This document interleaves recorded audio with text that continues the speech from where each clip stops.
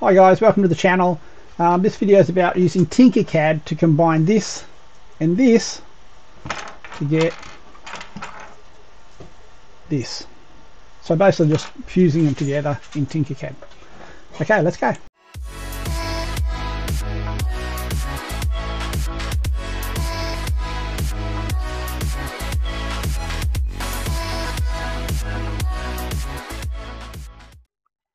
Okay guys, first thing you want to do is go into Tinkercad on your web browser. I'll have a link down below. Um, you'll get the screen up here. From there you want to go into um, sign up or login. If you're going to sign up, we'll just ask for all your details and chuck them all in. And then personal account, and you can log in with your Google one if you want to sign in with a own separate ID. I usually just use Google sign into things and I don't have to remember all the passwords. Once you're in there, there's this little create button here. So push down create and go 3D design. and once it opens up, you want to go over in the right hand corner here.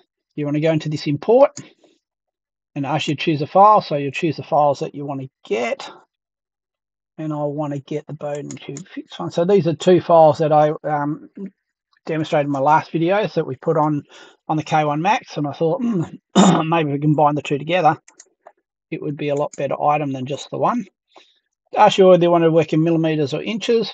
Um, again, they're only the Americans that want to use inches. Rest of us use millimeters. And import.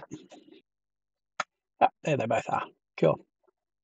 So we've got the two here. Now what I want to do is shear off this top of this one and put that one where that one is. So what you can do, if you get it, I'm just dragging it around with my right mouse button you can move it around. And this one over here, this grade box over here on the right hand side, that is a delete key basically. and the shape, you've got a cylinder shape or a square shape that you can delete with. So I'm going to select that.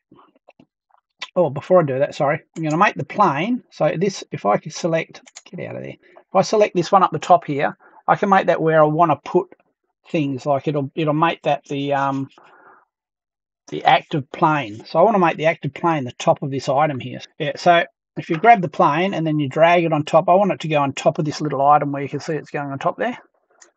And boom. And that should make, if you look on the side with my right mouse button, it should make, see how there's part of the model underneath that plane there? So that's made the very top of this the active plane. So double check, there's nothing on top. Yep, cool. So now I can bring my little hole tool over here. So this is a square hole. And put it on top and just chuck it on top of that plane there. and then all I want to do is expand it out so it's covering that whole piece there. Make sure it's coming all the way back. Cool. So that's co that's covering everything there that I want it to cover, and you can see it's not going into the underneath part there then I can make, if you click on the plane again, and then click on anywhere that's not an object, it'll make, it'll default back and you can see that it's sitting on top of the uh, object there. Now I want to merge those two together. So what's going to do is merge the solid bit with the hole bit and the hole bit's incorporating all that solid bit up the top there and it'll cut it off. So you select both of them, I'm not selecting this bit at the side here, I'm selecting those two. And up in the uh, right hand side here, there's a group tool. So it's going to combine the two. And there we go. We've got our flat bit that we want.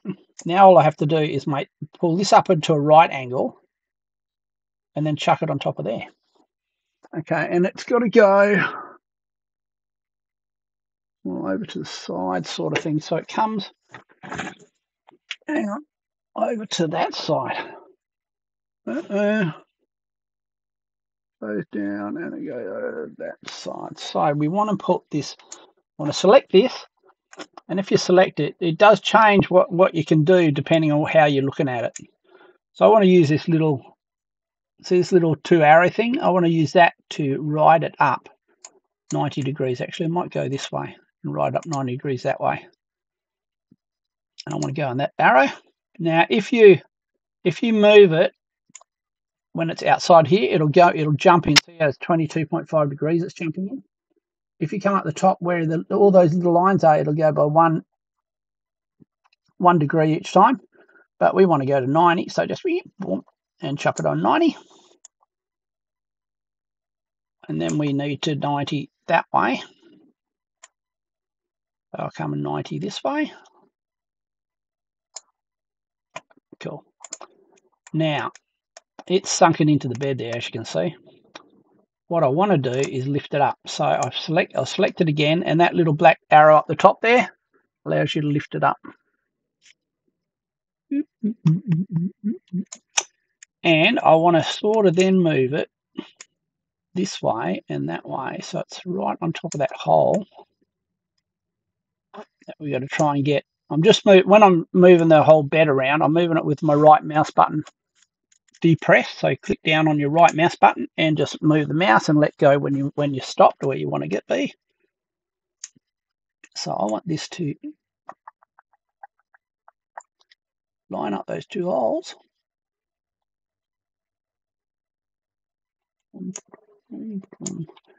And with your, I've got a mouse wheel. So with your mouse wheel, you can um, you can magnify it, or you can use the magnifying glass over on the right hand side here if you don't have a mouse wheel. Okay, so that looks pretty lined up. Now I've got to pull it down so it's doesn't matter if it goes in. I sort of prefer it to go into the bed a bit or into the object a bit. That way it'll merge it properly. You can see it's not quite not quite there with the lineup.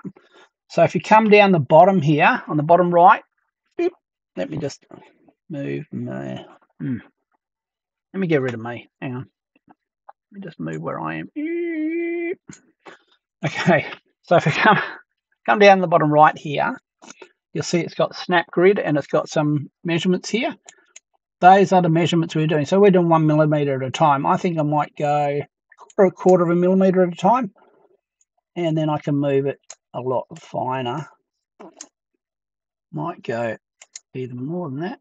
and you can, if you turn it off, it'll go freehand. You can just move it wherever you want. But I'm thinking that's pretty, pretty spot on. Okay, so I also want it to go in a sort of roughly the right angle, which is sort of going back over to this bit here. Looking at the um, looking at the printer. want to get it in the best angle possible. So I want to rotate it this way. Oh man. Okay, probably should have done that before I lined it up. There's probably a way of rotating it on the on where it is, but I don't know how to do that. So I, I all I did to learn Tinkercad, I hopped on and did a few uh, um, an hour or two online sessions, and it showed you enough to sort of get to what you want to do.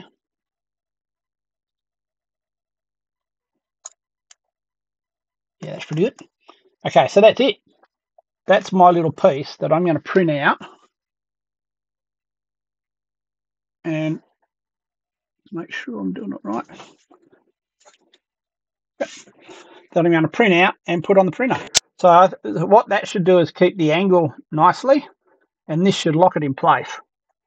So there's one, there's probably one, one more thing I want to do is just make sure it's all the way down the bottom. Now I can, yeah, I can select it push it down a bit more.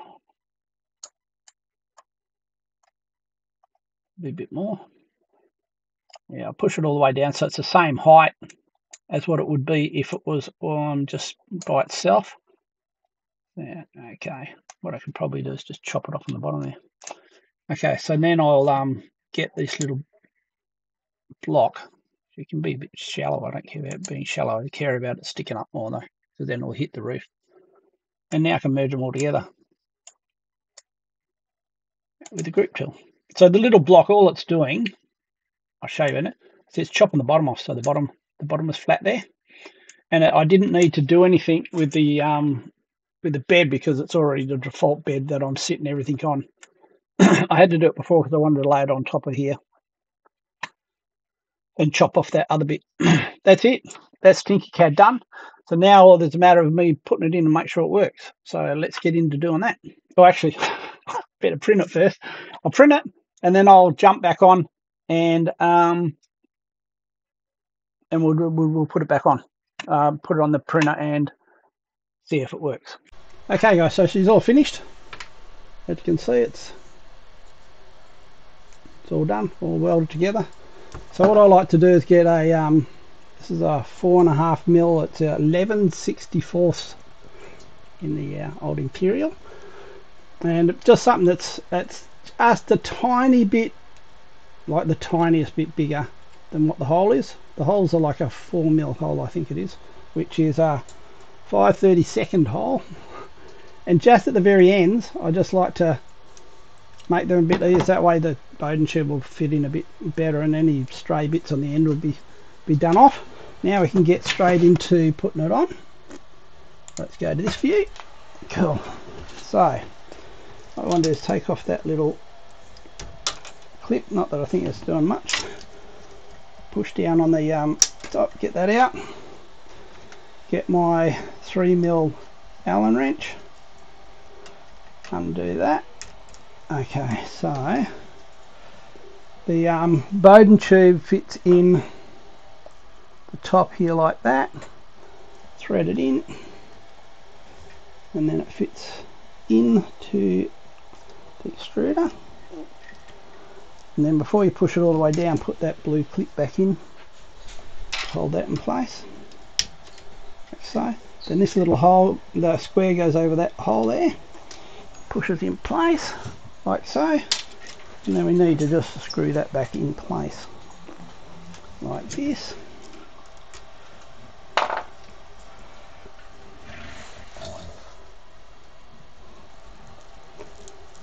So it's all in place moves around okay all the way to that end all the way to this end that's all cool get out the plate oh, side here chuck it on, let's see what the clearance is like. Clearances, oh that's a lot better. Cool. So, that works well. Excellent. Let's see if we can get filament in okay. Get some filament. Oh, got the filament in.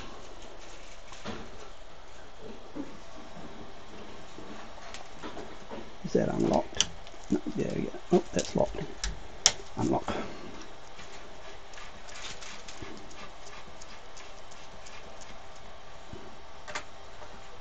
Oh, I can feel it going in. Cool. And that's not coming out. Excellent. So that worked really well. To, so guys, if um, you haven't subscribed yet, please subscribe. And I'd really appreciate a like. That'd be great. Um, don't forget I've got um, the filament video coming up next. Um, where I test all the different filaments between the Bambu Labs and the K1 Max. Uh, I just got in some that carbon, not carbon, that what did I get in?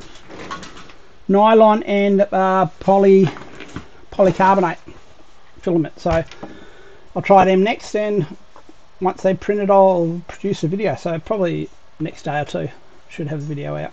Okay, thanks for joining guys. I hope it helped. Um, have a nice day.